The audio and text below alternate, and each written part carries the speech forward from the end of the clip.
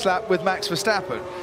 But I don't know why Mercedes are really doing this. He's Valtteri, it's James. Please abort the fastest lap attempt for the end of the lap. James, it's Valtteri.